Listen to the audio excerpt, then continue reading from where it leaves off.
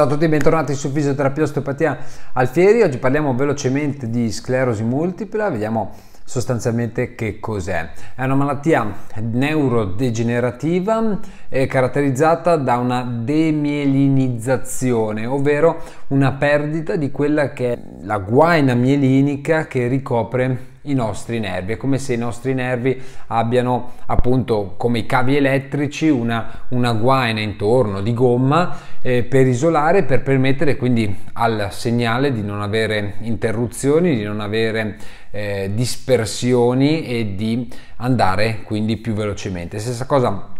con i nervi, i nervi, la guaina permette alla, alla conduzione nervosa di saltare eh, da un nodo all'altro. Adesso non voglio entrare eh, nel dettaglio, ma sostanzialmente adesso eh, permette all'impulso nervoso di essere 10 volte più veloce rispetto a un impulso nervoso non mielinizzato. E questo è quello che avviene a livello di sclerosi multipla. il nervo, il sistema nervoso centrale in realtà eh, perde la mielinizzazione e si formano quindi eh, delle placche in queste zone che appunto sono riconoscibili radiologicamente e ehm, sostanzialmente in queste zone l'impulso nervoso diventa più lento. Questo può avvenire sia a livello proprio di encefalo, quindi a livello del cervello, che a livello del midollo spinale che è sempre considerato parte del sistema nervoso centrale.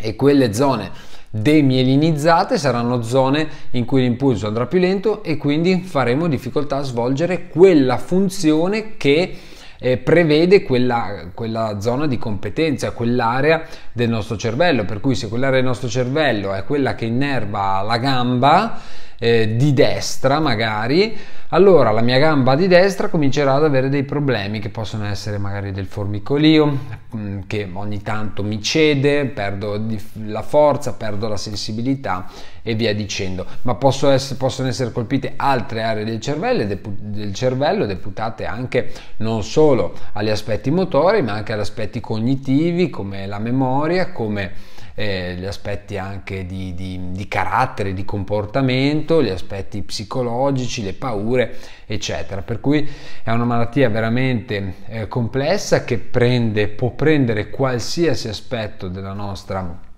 eh, vita del nostro corpo in quanto nostro, si sa che il nostro cervello eh,